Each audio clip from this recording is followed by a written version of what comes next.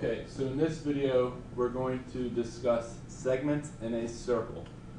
So, first thing we'll look at here are two chords. If we remember, chords are segments that exist inside of a circle. Their endpoints are on the circle. So, if we look at these two chords, we can call this section A, we'll call this section B, and then this one we'll call C and D. So when they intersect each other, they create these four little mini segments. And the rule that you're going to remember is part times part. Alright, so we'll take part A and multiply it times part B. And that will equal part C multiplied by part D. Alright, so A times B will equal C times D. Part times part equals part times part. And the parts we're talking about are all on the same segment. So A times B, C times D. Those are both parts of the same segment. Now, if we remember a secant is a segment that exists outside the circle as well as inside. So if we have these two secants, and again it's going to create two segments. We have part A and part B. We have part C and part D. So our rule when we have two secants is going to be outside times whole. So it's going to be the outside part, which in this case would be A, and we'll multiply that times the whole thing. The whole thing is A plus B. And that will equal the outside, in this case C, multiplied by the whole thing, which is C plus D. Now sometimes they will give you this whole section, they'll do something like that, right, and call it a number. If they, if you see a line like that, that's indicating that it's the whole thing. So in that case, you would say C times E. And maybe this one up here was something like X. So in that case, it'd be A multiplied by X. So you have to be able to think about each of these different scenarios. It's really the same thing, outside times whole.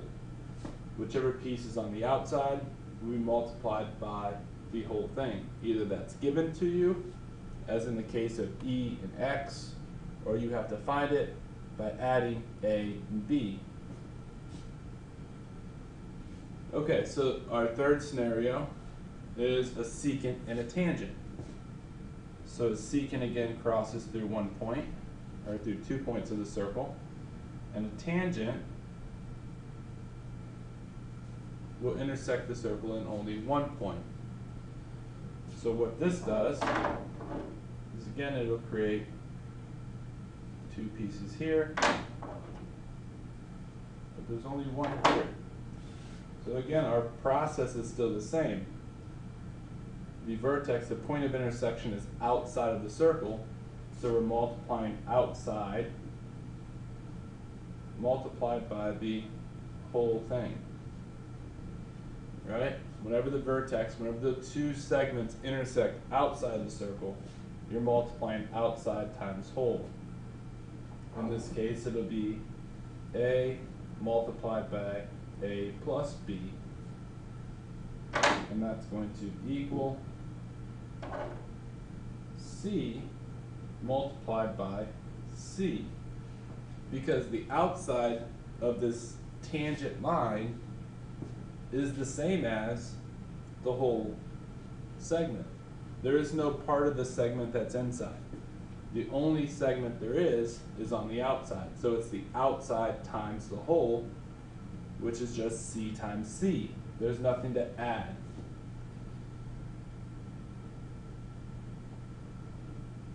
So when we're looking at two tangents, that brings up an interesting thing here. So if these two tangents are tangent, and A is here, and we'll call this one C. So if A times A equals C times C, well then A has to be equal to C. Which means that these are congruent. There's no need to multiply A times A and C times C to get a squared equals c squared, you take the square root of both sides, and you end up with a equals c. If you have two tangents, the tangents, the parts outside, will be congruent to each other. Okay, so those are our four ideas, four different scenarios and how they could look. And now let's look at couple properties of what's happening inside circles. Arcs, chords, and central angles. So, within a circle or in congruent circles, congruent central angles have congruent intercepted arcs. We know that 55, 55, 55 degrees, 55 degrees. So if the central angles are the same, then the arcs are the same. So we can mark those as congruent the length of that arc will be the same as the length of the arc. So the measure of NM is congruent to the measure of KL.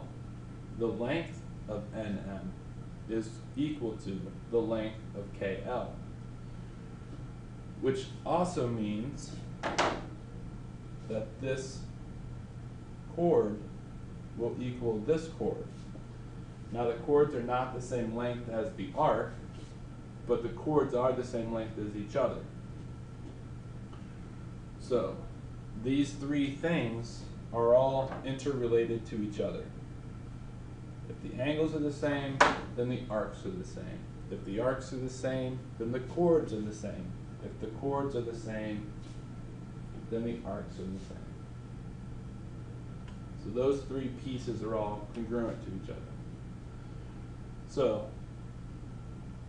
looking at here, they're saying that these two circles are congruent to each other. So if BOC is 85 degrees, right, then angle DPF, DPF would also have to be 85 degrees because these would be congruent to each other. If BC would also be 85 degrees.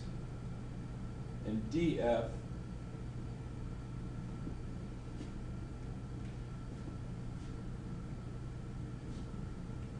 would be congruent to arc BC. If BC is 10, then DF is 10. And this would also equal 85 degrees.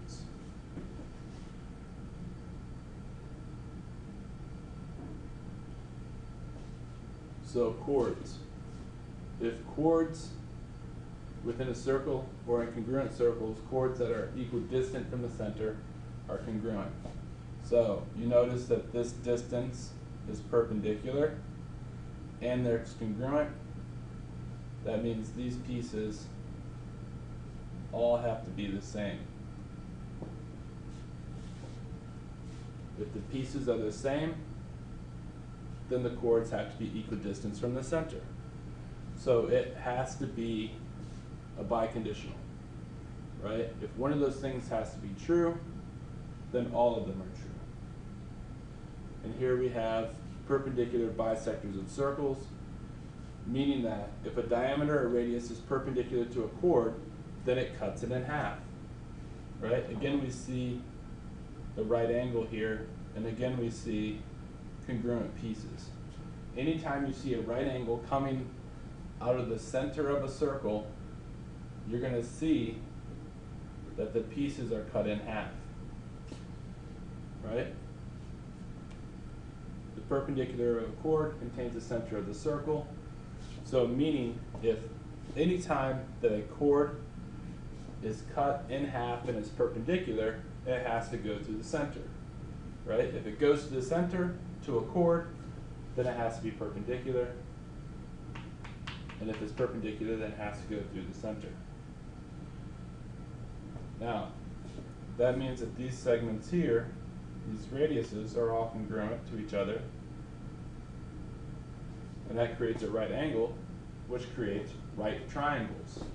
So of course you can do, in that case, a squared plus b squared equals c squared. To find different pieces of that segment. Okay, so those are the pieces of information that you need to know about regarding segments in a circle. And when we come back to class, we'll be working on those together. All right.